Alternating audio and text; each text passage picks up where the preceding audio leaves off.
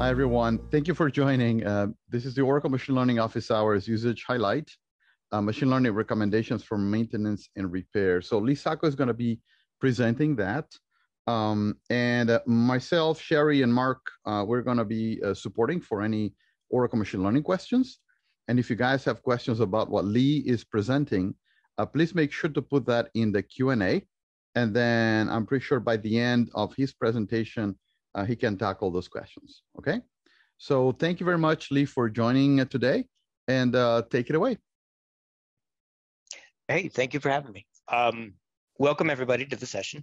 Uh, as you can see, the session is machine learning recommendations for maintenance and repair. Um, but I realize that we've we've really only got 30 minutes, and in fact, if we want to do Q and A and live demo, we have less than 30, and that's not nearly enough time to cover both maintenance and repair. So today, the the focus I think will be on repair, with the idea that maybe we can leave maintenance for another day if there's enough interest in it.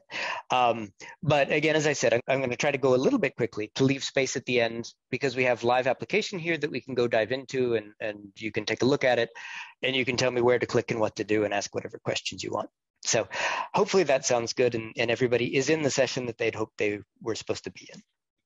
Here is a message from Oracle's lawyers welcoming you to this presentation and reminding you not to buy any Oracle products based on anything I say.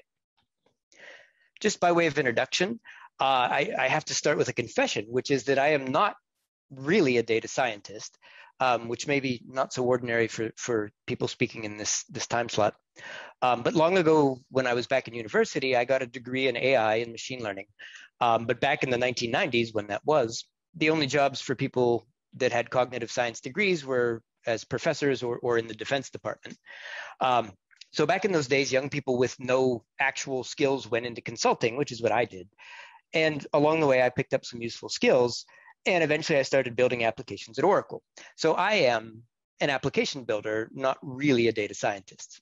But about five years ago, I started working on projects to get machine learning into Oracle's maintenance and repair apps and there were and still are a lot of competing ML solutions within Oracle, um, including OML, which is, of course, the solution that, that we did end up uh, using for this solution. But back in those days, I wasn't actually working with OML, and I got paired with a, a PhD data scientist from one of Oracle's other platforms. Um, and that data scientist told me that we should start with the data um, to decide what ML solution to build. And, and, basically, they told me to send over a spreadsheet with just a bunch of sample data and that they would come up with a great ML model to do something useful um, that would be very exciting. So as an application developer, like starting with the data sounded like a really bad idea. Um, and, and in fact, it, it's the same philosophy that, uh, you know, applications developers, including Oracle application developers, um, have, have suffered from and, and, built many unusable apps. Uh, and I guess that's true in Oracle, but also outside Oracle and it's one of the reasons that we see you know the rise of user-centric design and design thinking um, and, and, why those are the more dominant paradigms in application development. But at the time i was a data science noob and in no position to argue with you know an expert with a phd so long story short five years later and a lot of wasted effort later uh, that first data first solution has zero customers and, and doesn't really work. So um, you know, th- that's sort of my data point for starting with the data. So my recommendation is don't start with the data, right? Um, and so I want to start by understanding the business, right? Um, and, and I start with this, this anecdote to sort of lay out two themes of the presentation. And the first is that the recipe for success I think both in apps design as well as in data mining is not starting with the data, but rather understanding the business and the users. And, and this is no revolutionary thought on my part, right? On the left-hand side, you see the, um, the crisp data mining model, which clearly starts with understanding the business. Uh, and that is the one starting point in the model. Uh, and on the right side, you see sort of the design thinking model, right? Start with empathy for your users. One is a data modeling process one is an applications design process, but they really both start in the same place. And I take that as sort of a general consensus that um, that is the right place to start if you want to succeed. So that's the first theme I wanted to sort of lay out before we go into the presentation. And of course, the second theme of the presentation is that you shouldn't just assume that experts are always right. So hopefully that's helpful as well. Okay, so let's start by understanding this business, right? So what is depot repair? It's not exactly a term that is a you know household word, um, but if you're in the industry, you hear it a lot. Um, but just like any bad presenter, I will start by reading from my slides. So depot repair, it is the repair, maintenance, or recycling of products returned by customers to a processing facility. And that can be compared and contrasted with field service, which involves the repair, maintenance, or recovery at a customer site or at an off-premise location. Um, and the depot repair process in the application that we build, it is uh, all about managing the tracking of each item that is returned from a customer to a repair center to its final disposition. And, and disposition is just a, a fancy word for what we finally do with it in the end, right? Do we send it back to the customer? Do we put it in a warehouse to use as replacement product for a new customer? Do we send it back to the supplier because it's broken? Do we send it to the recycler because we can't use it anymore? Um, you know, whatever it may be. And some common examples of repair depots, right? So if you are in the USA listening to this, you probably have a car, possibly multiples of them. But anytime you take a car, a bike, or any other vehicle to a shop for repairs, that is a depot repair. That, that shop might be managed by the company that sold you the vehicle, um, but it might also just be a partner of that company, an, an independent business, um, or it might be a completely independent business that has no relationship to the the um, manufacturer that sold you the car or the bike or, or whatever it might be. Or another example, let's say I, I have a Garmin watch, right, and uh, a GPS watch, and I break it. I can actually mail it back to Garmin, the manufacturer of the watch. They have a huge repair center in the middle of Kansas, and somebody who is a Garmin employee will fix it and send it back to me working. But I live in Europe. And so if I have an Apple Watch and I break that Apple Watch, Apple tells me to mail that watch back to Flextronics in the Netherlands. And Flextronics will repair it and they'll send it back to me on behalf of Apple. But if I lived in the USA, if I broke my Apple Watch, I could go into a Best Buy big box retail store and go to their Apple authorized service provider desk, the, the Geek Squad basically, and they could fix that watch for me right there. Right. So essentially in the depot business, you just have a lot of different business models and, and a lot of different ways that things can get repaired. And so the eBusiness Suite Depot Repair application, which is the one that I'm focusing on today for this presentation, it supports the repair processes for all of these different business models. And any machine learning solution designed for repair has to understand the needs and characteristics of these different business models. So for example, again, going back to Garmin, that Garmin employee might only see 10 different products you know 10 different you know garmin gps watches that can come in um, and they're all manufactured by garmin but they might repair lots of them, right? Maybe hundreds for each day. So they're going to see the same 10 products over and over and over again. But that Flextronics employee, they might see 200 different products manufactured by 20 different companies because they are doing contract repair for Apple, possibly even for Garmin, for other companies as well. And so they might see one product a bunch of times, but there might be some products that come in that they only see once or twice ever, very rarely. And so the data footprints for these two different situations are going to be very, very different. Understanding repair technicians is also important to developing our machine learning solutions. So technicians love solving problems. They dislike data entry. They don't trust computers that tell them what to do unless those computers actually tell them why they're telling them what, what they should do. So a fundamental requirement that we had for any machine learning solution for a repair technician is to explain the reasoning behind any recommendation that we give them. And then we let the technician use their judgment to determine if that's the right answer or not. So if the system tells them what to do and tells them that they have to do it, they're going to find a way to sabotage the system, right? Like they're going to make it fail. Uh, we call that psychological reactance, by the way, which is a nice way of saying sabotage. So anyway, formalizing the list of tasks that a technician or, or any other user performs makes it very easy to see where machine learning can be applied to solve problems, right? So this was how we approached um, figuring out where to put machine learning into the system. We looked at all the things that our target user does, um, and then it just became very obvious where we could apply machine learning.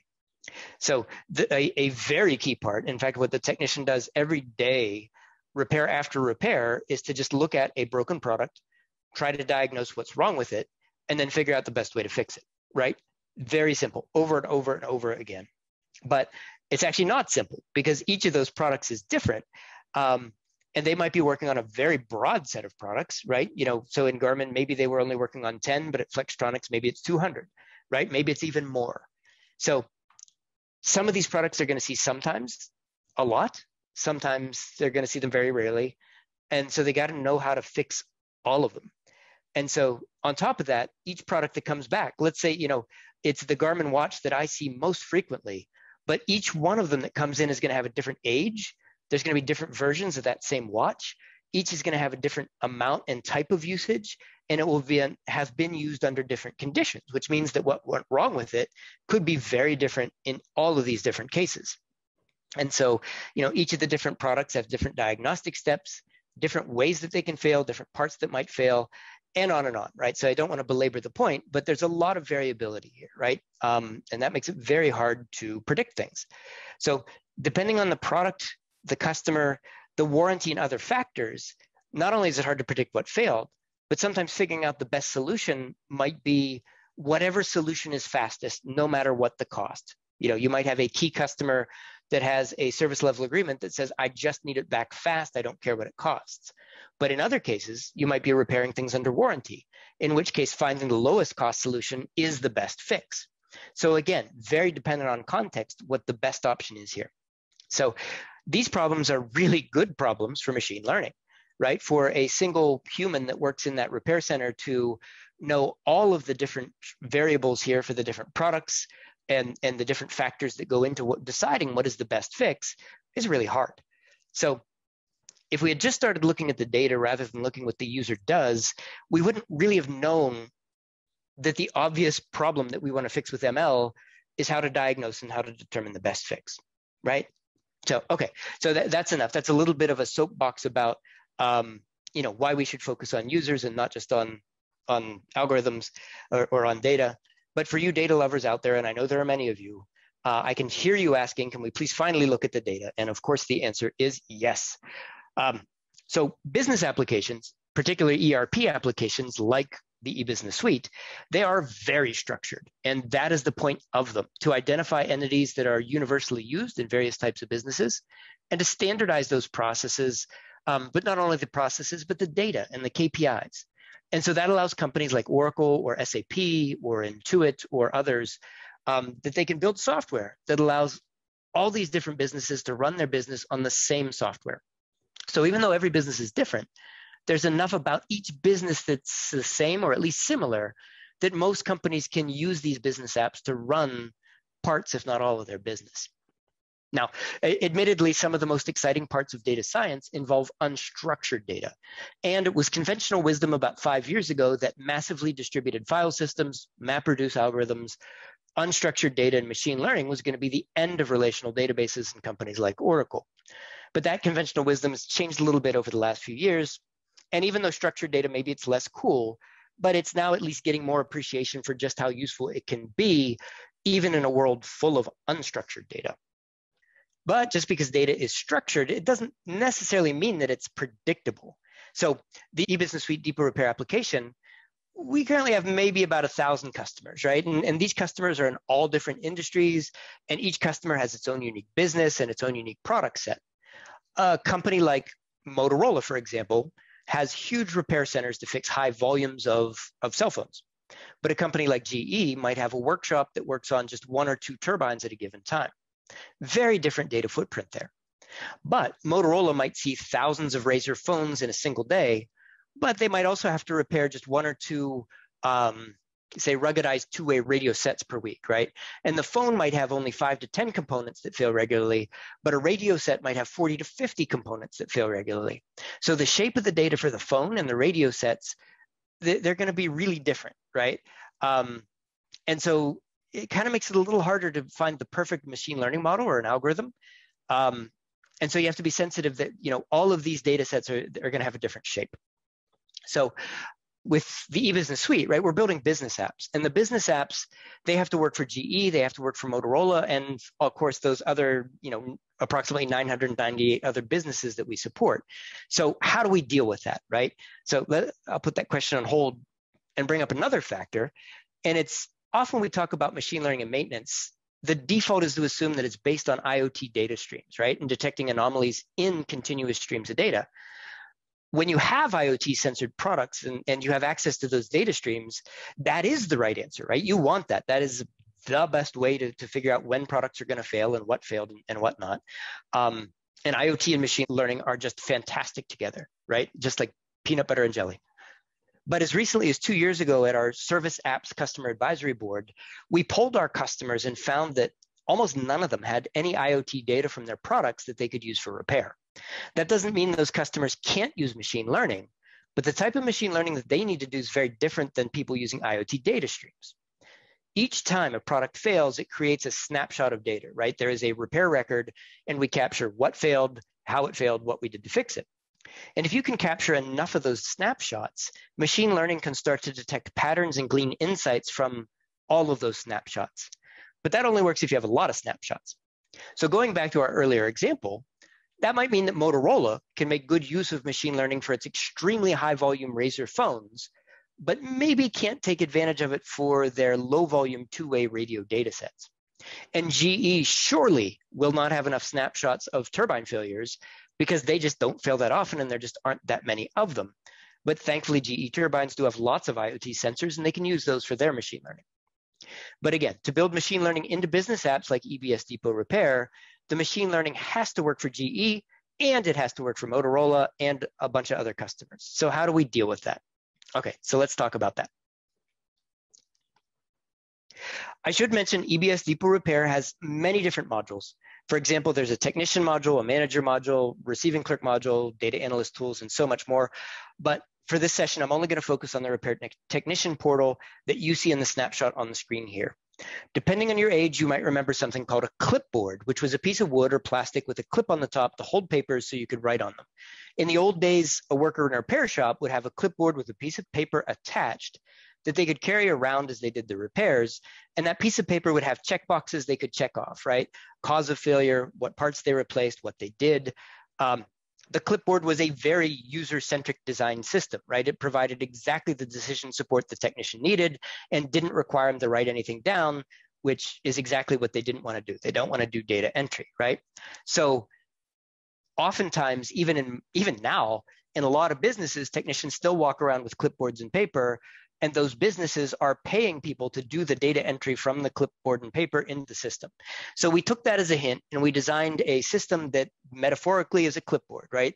So it lays out in front of the technician all the diagnostic codes, all the service codes, all the information they need to capture, and they can just with a finger tap the tablet or the touchscreen and say which particular diagnostic code did they see, which, which one applies, which service code are they going to perform, and, and so on and so forth, right? And so they, they really like that metaphor, low data entry. Here we see that you can do, the screen is laid out, so there's three tabs that correspond to the different um, steps of the process, right? During evaluation, you capture diagnostic codes, it's what the technician sees, and then they're gonna determine how to fix it, and that is a service code, okay? Uh, then there are two other tabs, execution, which is where you know you indicate what what did I do, what parts do I use, and then finally, there's a debrief tab where I indicate, okay, what was the root cause of the failure? And again, with one finger, I can click that little checkbox and, and you know, I can see what failed there. Now, finally, notice at the top of the screen on each of these screens, there's a button for a page called recommendations, third from the left. That button pops up the machine learning recommendations page, which looks like this. So this is the, the sort of heart of the presentation, and it's taken me a while to get here, but now we're actually talking about machine learning, right? So this screen supports two recommendation. It can predict the best fix or the service code as we saw in the last tab, and it can predict the root cause or the defect code. It uses predictors like the item, the item revision, the item age, the diagnostic codes entered by the technician, and then it can also do text mining to glean predictors from the technician notes, the service agent notes, anything the customer entered as well. On the screenshot, we see a table each row is a recommendation in that table. That includes the status. So did the technician see this before? Is it new, viewed, accepted, or rejected? And there's a column for the type of recommendation. Right now, there's only two types of recommendation. Um, you can predict service code, you can predict root cause code, right? But it's architected so in the future, you can add more different types of recommendation um, without having to change the screen. There is a reference to a specific service code or defect code and a recommendation that says mark it as applicable. There is the confidence, which comes directly from OML that says how confident are we in this prediction. And there's insight, which also comes from OML telling us, you know, how did we come about this prediction, right? And again, we'd mentioned before, this user needs to know why am I being given a recommendation so that I, I, basically support it or don't sabotage it, right? Um, the decision drop list you see here allows the technician to accept or reject that recommendation. If they accept it, that recommendation marking the service code or defect code as applicable is automatically done in those screens we looked at just a second ago. And I'll show that again. If they reject it, they can enter the reason from a list of values why they rejected it and even provide additional comments, hopefully creating, well, actually right now it only creates an audit log, right? It, so that we have a record of why they rejected something. But hopefully in the future, we could actually use that information as a feedback loop to make better recommendations. Okay, so let's assume that we accepted a recommendation and we've populated the, uh, in the red box, you can see that there are uh, the check boxes and here we've decided to replace the hard disk. So that got checked. I can click, there's a button right above that table that says generate jobs.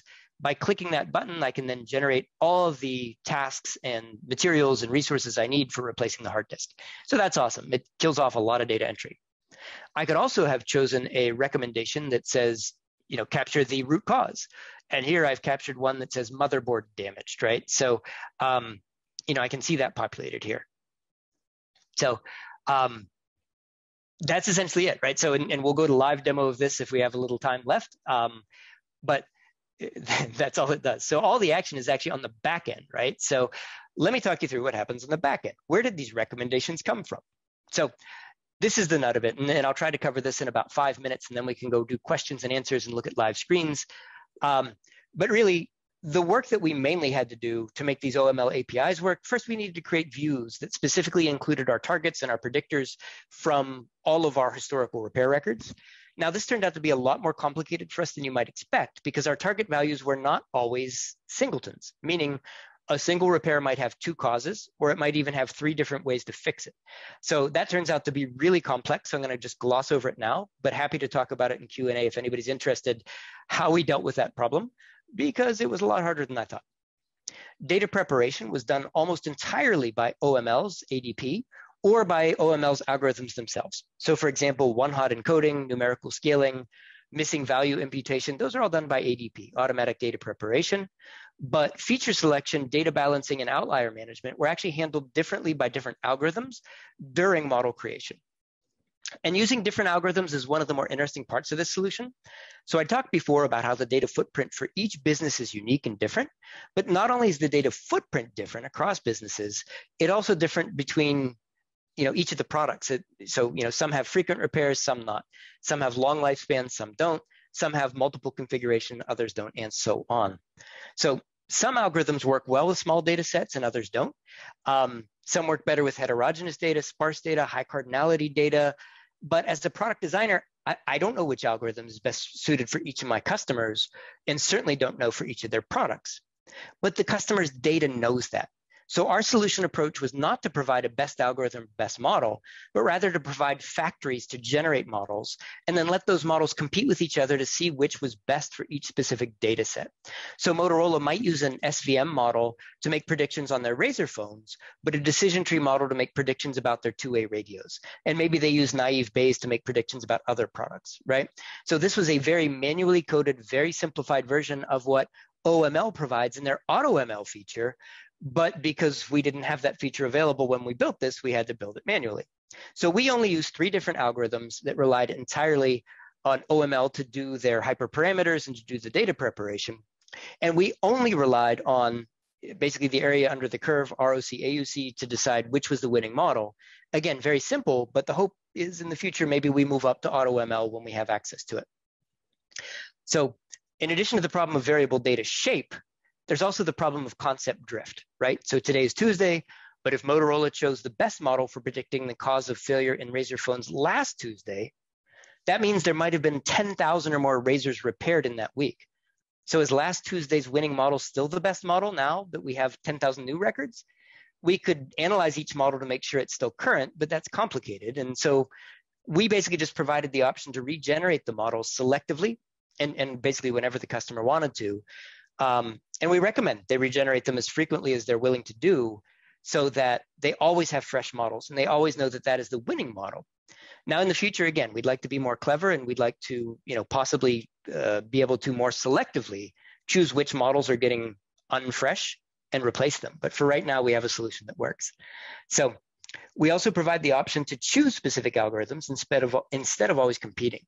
So if SVM models, like they're very slow, very data intensive, and so really hard to generate them, right? So maybe as a business, I only want to generate a naive Bayes model because uh, I trust those.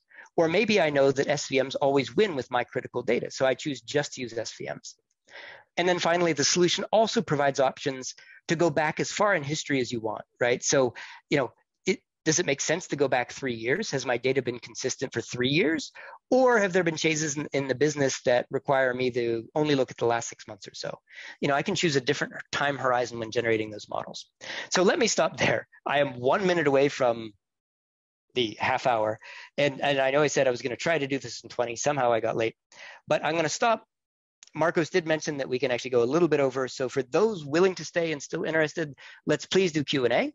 For those that have to go, thank you for your attendance here, and, and um, uh, hopefully we can talk more about maintenance later. Okay, so I will stop there. Um, Marcos, do you want to jump in and uh, maybe talk about what's in the Q&A? Sure, excellent. Uh, thank you very much, Lee. That, that was a very, very uh, interesting presentation. And we have uh, one of the questions is, are the ML models trained for each uh, of the customers for their own data set, or does EBS use pre-trained models to give repair recommendations for any customer? Yeah, eh, good question. And, and no pre-trained models at all. What we are sending out is we are sending out basically code that works as a factory to generate models for the customer based on their own data.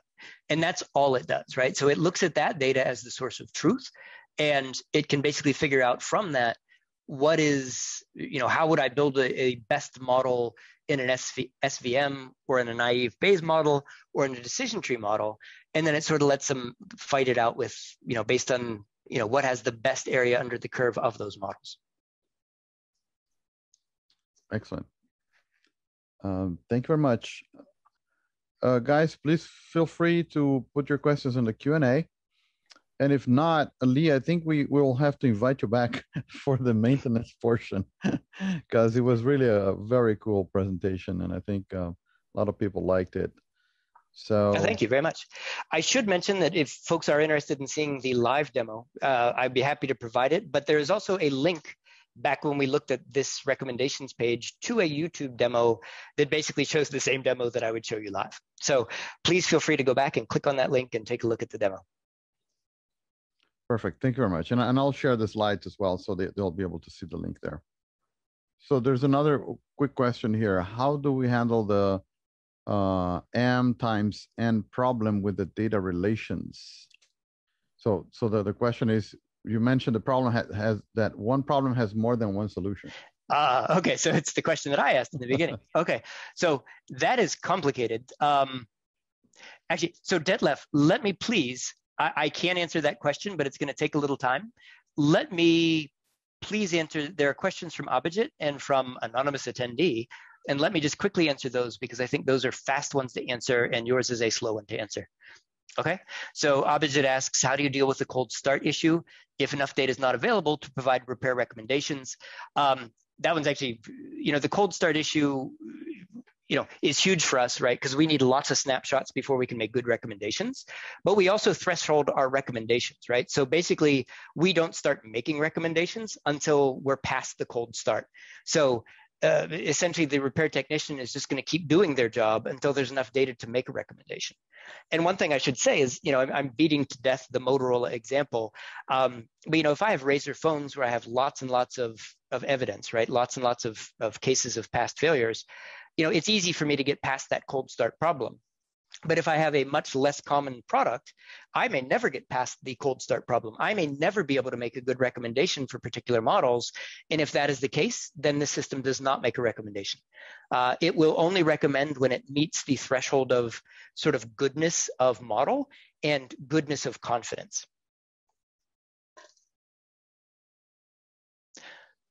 Uh, and anonymous attendee asks, how many variables can be taken as input for the model? Um, is there a limit? So um, I assume when you mean variables, we're talking specifically about um, feature selection. And I should say that the features are sort of pre-selected. Um, and, and so we're not actually allowing the customers to do a lot of like, hey, we use this, you know, this attribute that other customers may not use. That's one of sort of the luxuries of being an ERP application where we have canonical data models, right? So, you know, we know, uh, you know, here are the 50 or so attributes that are used at essentially every customer that does repair. And you know, every customer has a couple other attributes that maybe you know they consider important, but others don't. But those sort of canonical ones, we know that those features are always going to be included in the prediction set. But the algorithms themselves, right, within OML, OML is going to do feature pruning. OML is going to basically decide which of those features are most predictive. So we create a view where we have all of those attributes, and OML makes the decisions of which ones to use when it actually builds the model. Okay, and then let me do, uh, Dharmender is asking, what work is done by OML versus depot repair? Does OML work like ATG, where depot repair is uptaking the features and functionality provided by OML? Um, yeah, so basically, yes, OML is, is like ATG. OML to us is a service, right? We call those APIs, and those APIs do a bunch of stuff for us. Depot Repair doesn't have to do a lot of the work, right? So what Depot had to do in the beginning was to create the views that said, the, these are the cases that we're dealing with, right? So, you know, we're going to take a bunch of old repair orders, the repair order history, and these are the attributes that we want OML to basically look at and decide which are most predictive. So in, in that regard, OML is really just, it, it's an external API call. It is a service to us but the luxury is, you know, we didn't have to do any sort of real ETL program, right? We just defined a view in the same database where uh, we actually have our transactional data. And one nice luxury we have is that, you know, compared to, um, you know, say Oracle order management or even Oracle manufacturing, where you have unbelievable numbers of data records, in most cases, you always have less things failing than you have building. So unless you are a business that specifically all and only does repairs, we are not overwhelmed by the amount of data in the database, meaning it's it's uh, you know smaller database sizes than than others deal with. Oh, uh, actually, Sanjeev, that, that I, I, may have just answered that question, but let me to reiterate. Um, how do we get the EBS data into the platform? Um, so the platform is just the database, and and OML. I, I should have mentioned early on, and I don't think I did this e-business suite is an on-premise application. This is not the cloud, um, the cloud suite, um, which we'll talk about next time when we talk about maintenance. We'll talk about you know the maintenance cloud. So the EBS data is actually in the database. The OML processing is actually in the database. So we never move the data. The data is there. Um, we create a view on it, and OML operates against that that view. Um, so Sanjeev is asking what data preparation is involved. Let me, oh, I actually have the slide up that tells what data preparation is involved. Um, so, so Sanjeev, just to reiterate what's in the slide, right? I mean, there is categorical value encoding, and I believe by default it's using one hot encoding. We scaled our numerical values, right? Again, that's done by ADP, the automatic data preparation feature of OML. Um, we imputed missing values. Again, that's not depot repair. It's actually in the ADP feature of Oracle Machine Learning. And, and it was the algorithms that did the data uh, preparation um, while building the models, right? So um, when we use OML to build our you know, SVM model, the SVM model itself, as it's being built, dealt with the imbalanced data. It dealt with choosing the features and it dealt with the outliers, you know, just as an example. Okay, and apologies to Detlef, who is hopefully still very patiently waiting. Um, I wasn't expecting more questions. So uh, the question from Abhijit is, is the transactional data history enough to train the ML model? Or do you need to pull the transactional data into a data warehouse using ETL so you can train the models on more historical data? And how training ML model on AGP impacts the database performance? Okay, so um, there's actually a couple of components here to unpack. So yes, the transactional data history in almost every case is enough to train the ML model. Um, and in fact, if a technician is doing a repair, one of the things that they always have at their fingertips is the repair history for this given asset and the repair history for assets like it. So in the transactional database, we always keep um, a number of historical repair records because the technician really needs that data at their fingertips when they're doing repairs. And this also gets to the other point that I made before, which is that you don't generally have an overwhelming amount of repair history data. So, you know, if you are Amazon and you have an order management system on the Amazon platform, you know, you're going to have to offload that data very regularly because you would quickly fill up almost any data store, transactional data store, and slow it down if you did not. But in a repair center, even if it's processing a very high volume, you can get away with keeping six months or a year, or in some cases, you know, three years or more of data if it's not such high volume, without having to offload it to a data warehouse. And so the fact that all of this is in the database makes it a perfect fit for using OML in the database. Okay, so let me jump back to Detlef's question. Hopefully, Abhijit, that answered it. Um, so Detlef, the complexity here was that when we were trying to predict, and I'll, I'll just use um, root cause code as the example here. Um, when we designed the system, we actually provided the flexibility to allow users to choose multiple root cause codes. In retrospect, it would have made everything a lot easier if we had restricted them to a single root cause code, at least for making predictions, or if um, we had actually chosen as our first effort in using OML to be a different attribute, which is only a singleton attribute, which did not allow multiple um, multiple different options. So there were actually multiple different ways to solve this. And what we realized was that if we solved it in what we thought was the most obvious way, which was to um, basically uh, every time we see an example of, you know, um, root cause one and root cause two, to basically just increment the number of root cause ones in the bucket of root cause ones that are associated to, to this type of failure. And to increment bucket two of you know root cause twos for all of the uh, root causes for failures that might happen here. But what we we were educated by um, thankfully the folks in the oml group was that well as you do that you're basically just nullifying root cause one with root cause two right? If you treat these as sort of if you look at it from a, you know, again, a, a one hot encoding type situation, um, there's no way really to conjoin these. So you're basically just wiping out the incidences where you have cause one and cause two together.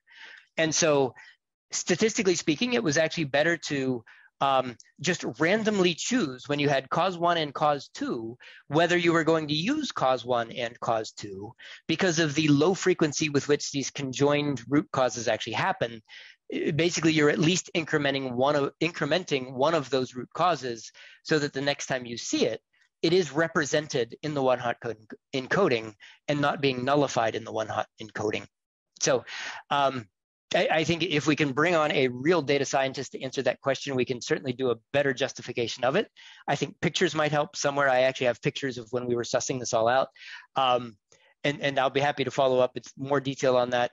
Or maybe Marcos or, or even uh, Mark or Sherry, who actually were some of the people that helped us figure out this problem, could provide more detail into it that, that will make it clearer than, than I just did. Uh, thank you, Lee. You know, I think hopefully that was uh, clear enough. Um, if Detlef wants more more details or, or needs more information, uh, you know, at any time uh, he can reach out. And actually, any anytime you guys have uh, specific questions, you guys can go to Ask Tom and um, ask a question directly there, so that we can tackle that in the next session as well. Um, so feel free to do that. So thank you very much, Lee. Um, we're almost 15 minutes after, but uh, it, it, was a great session. Um, uh, there's a lot of people still here. They want to see your uh, YouTube link for, for the live demo. Um, oh, okay. Let me scroll back. Yeah. So I'm going back to slide number. Where are my slide numbers? Slide number 11. And you'll see in the upper right hand corner, there is a YouTube link there. All right. Excellent. And then, uh, well, that's it. People ask, uh, just saying thank you and um, appreciating you for uh, for the presentation and for answering uh, the questions. So, All right, thank you, um, everybody, and thanks for the great questions too. That was great. And thanks, thanks. So thanks a lot, Lee. Uh, thank you, guys. See you guys next week. Have a great day.